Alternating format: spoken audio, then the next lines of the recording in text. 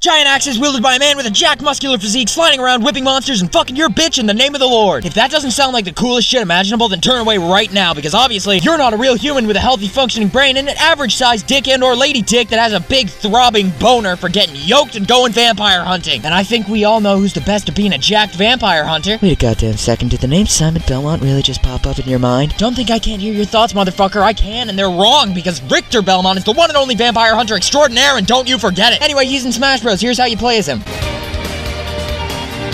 Alright, we're not here to make friends, we're here to talk about the easiest way to make a fully grown adult cry using a controller and some harsh language. So let's cut right to the chase. You heard of rock, paper, scissors? Well, let me introduce you to a game called Axe, Whip, and Water. They're basically the same exact games, except instead of two people using their hands to duke it out, I just give you those actual weapons. And the other guy doesn't get anything, and in the end, nobody wins. Sound good? But wait though, what do I do with these three very random items? Well, kid, to put this in as divine of a way as possible, Spam the ever-loving shit out of them! Use the cross when they're on the ground, the axe when they're in the air or trying to recover, and the holy Molotov cocktail when they're coming too close. Actually, you know what? Fuck it. You wanna know when to use them? Just flip a coin at the beginning of the match. If it lands on heads, you use the pointers I just gave you to tactfully box out your opponent and take them out before they can even reach you. If it lands on tails, just keep repeatedly slamming your fist into your controller and using your broken hand spam slam jam to let the game decide how it's gonna crush your opponent's spirit. And if it lands on its side, then that's some divine intervention shit. You're playing against a fucking demon. So just throw holy water in their face and run out of there faster than they can say Count Chocula. Anyway, those moves basically take you to kill percent, so we can just move on to smash attacks now.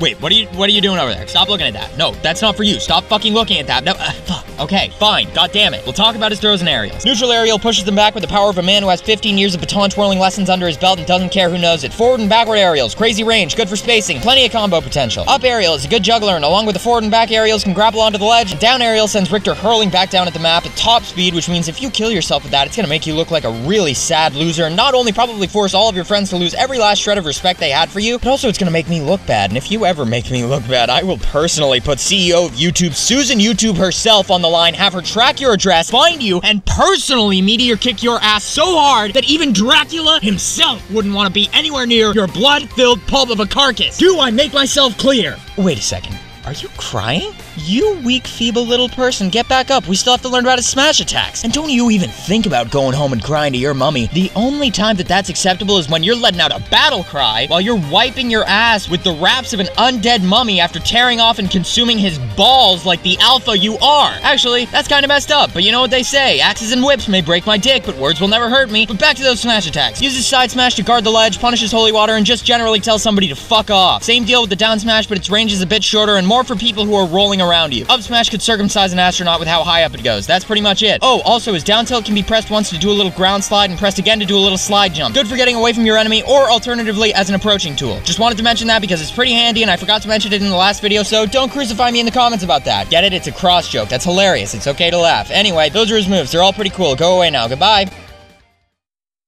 Thanks for watching. Subscribe. I make these every week. Follow me on all the shit. It's in the links below. Bye.